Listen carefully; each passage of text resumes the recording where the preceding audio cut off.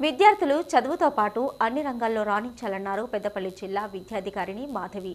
సుల్తానాబాదు బాలికల ఉన్నత పాఠశాలలో విద్యార్థులకు దాతల సహాయంతో స్పోర్ట్స్ యూనిఫామ్ షూ బెల్ట్ అందజేశారు. ఈ కార్యక్రమానికి ముఖ్య అతిథిగా జిల్లా విద్యాధికారి మాధవి హాజరై విద్యార్థులకు అందజేశారు. ఈ సందర్భంగా డిఈఓ మాధవి మాట్లాడుతూ విద్యార్థులు కష్టపడి చదివి మంచి పేరు ప్రఖ్యాతలు తీసుకురావాలని కోరారు.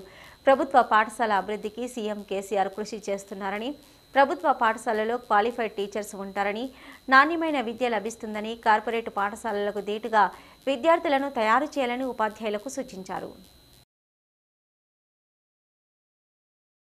చూసినట్లయితే ఇప్పుడు మన ప్రభుత్వం ద్వారా అనేక సౌకర్యాలు అనేక మౌలిక వసతుల్ని ప్రభుత్వం మనకు కల్పిస్తుంది ఇప్పుడు.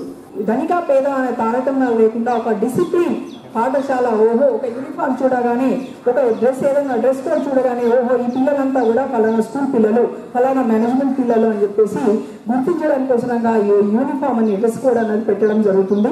మనకు ఎడ్యుకేషన్ ఎడ్యుకేషన్తో పాటు గేమ్స్లో కూడా రిజర్వేషన్స్ అవి ఇవి మనకు నెక్స్ట్ ఉద్యోగంలో కానివ్వండి హయ్యర్ ఎడ్యుకేషన్స్లో కానివ్వండి ఈ రిజర్వేషన్స్ అన్నవి రావడం జరుగుతుంది.